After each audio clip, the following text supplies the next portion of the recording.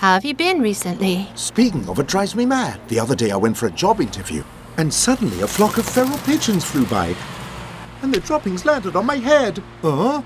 Hey, stop feeding! Same here. Last week, the weather was so nice, so I took some bedding out to air it in the sun. But then. Hey, stop feeding! Yes, there are indeed too many pigeons now. Their droppings have fouled the surrounding environment, and I don't want to take my child to the park. Hey, stop feeding! Why are there so many feral pigeons? It's all because some people feed the feral pigeons. Hey, stop feeding! In fact, feral pigeons are able to forage on their own in the wild and no feeding is needed. Feeding feral pigeons would change their behavior, causing them to flock in urban areas and cause nuisance. Moreover, pigeon droppings left behind can also aggravate the environmental hygiene issue.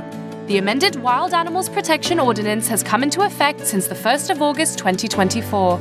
It is unlawful to feed wild animals or feral pigeons without permission. Offenders may face a fixed penalty fine of $5,000 or be prosecuted. Upon conviction, the maximum penalty is a fine of $100,000 and imprisonment for one year. For the sake of us all, don't feed them. For the sake of us all, no feeding.